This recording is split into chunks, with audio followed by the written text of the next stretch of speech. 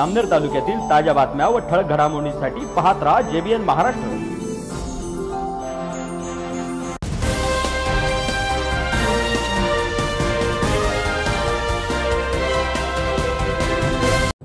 नमस्कार मी मिनल चौधरी. पाहूया काही ठळक वृत्त.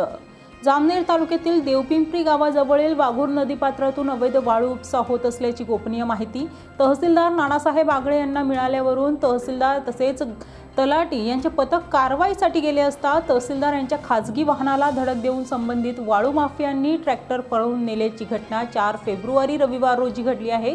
सदरील घटनेबाबत जामनेर पोलीस स्टेशनला गुन्हा दाखल करण्यात आला असून पुढील तपास जामनेर पोलीस करत आहेत.